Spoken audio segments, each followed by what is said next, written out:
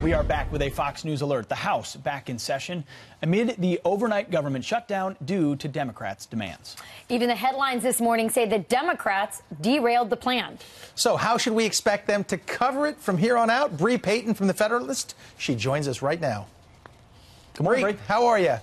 I'm doing great. Thanks so much for having me. Yeah, what are we going to look forward uh, from from the press? Are they going to are they going to be fair about this? Are they going to be unfair? Are we going to get fake news? Or we're going to get real news? What's going to happen with this? Yeah, I mean, uh, since uh, Donald Trump has risen to prominence several years ago, every single day has just been filled with fake, fake, fake news. I mean, at this point, you would think that the media would figure out how to cover Donald Trump uh, in a way that's nuanced and in a way that does critique him without being completely off the rails um, and com sounding completely delusional. But they have not decided to do that. And I mean, there's kind of an expression uh, that goes something along the lines of, you know, if you keep repeating the same things over and over and expecting different results, um, you're insane. I think that that's clearly what we are seeing from so many members of the media uh, who are just running totally with fake news stories uh, based on a single mm -hmm. unnamed source, not verifying it at all because it confirms the preconceived notions that they have about the president. Some of it, with some of it, I was just going to say, some of it is not just that they're reporting fake news. I think some of some of it is just omission. That there's been a lot of right. success, and mm -hmm. those aren't being reported. We saw a retrospective. We saw, you know, talking about ISIS and the economy. The highlight reel. The, the highlight reel. That's right. And, you know, you see that here, but you're not seeing it in the other um, media outlets. Yeah, I, I, think you're totally right um, that they are choosing uh, to ignore that and they're choosing to focus on stories that are really, really dumb. I mean, you know, the koi pond controversy where uh, Donald Trump supposedly overfed fish, and then when you just watch 10 more seconds of the clip, it was very clear that he didn't do that. I mean, that's just a perfect, clear cut example of the media just running with really, really dumb things. And honestly, there are so many things that you could criticize uh, this president about. I mean, Donald Trump promised that he would respect religious liberty and that he would protect the Little Sisters of the Poor Poor. And yet the Department of Justice has not dropped their lawsuit uh, against the Little Sisters of the Poor. And they're still fighting for their right in order to adhere to their religious beliefs as they serve uh, the poor and, and elderly who can't afford health care.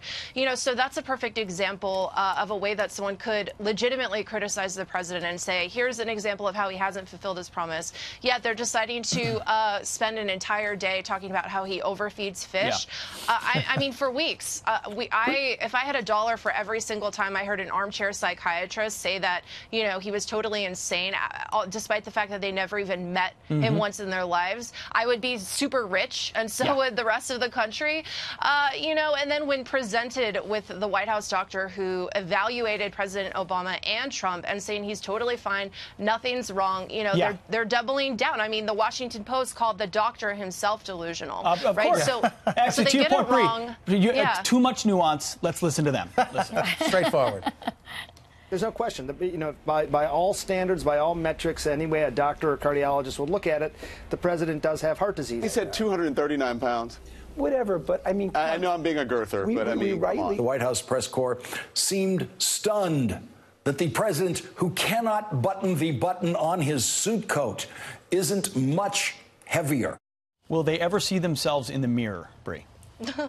yeah, I mean, that's a great point. And, you know, whenever uh, Trump's approval rating slips a little bit or there's a fluctuation in that, you know, they cover it for an entire day and double it down and pair it with stories like these that are just so dumb. And yet, you know, uh, approval ratings for the media is in the single digits and they never like to talk about that and they never like to ask themselves questions about why that might be. And, you know, the footage that we just watched is a perfect example of why their approval rating is in the single digits. This is the reason why Americans completely distrust the media because, you know, they're going on uh, and, and speculating about his health and his weight when here we have a professional who is saying he's totally fine, everything's fine, stop worrying about it, you know, he doesn't have a problem, uh, and yet they're just going full truther on this. I mean, I, and, I and guys... hypocritical, Bre. I mean, I thought fat shaming was out of bounds for liberals.